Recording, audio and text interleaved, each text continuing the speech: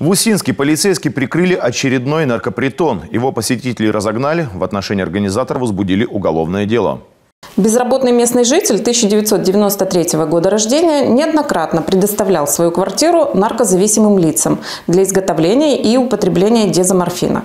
При обыске по месту жительства фигуранта полицейские обнаружили предметы, свидетельствующие о потреблении запрещенного вещества, шприцы, флаконы, стопки, пакеты для фасовки наркотических средств.